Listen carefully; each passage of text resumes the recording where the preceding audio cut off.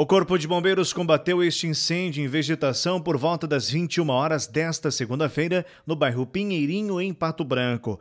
As chamas logo tomaram conta deste terreno baldio, localizado na rua Vieira da Costa.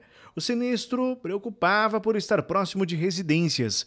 Felizmente, o fogo foi extinto e nenhum dano ao patrimônio foi registrado. Não se sabe de que maneira que o incêndio teria iniciado.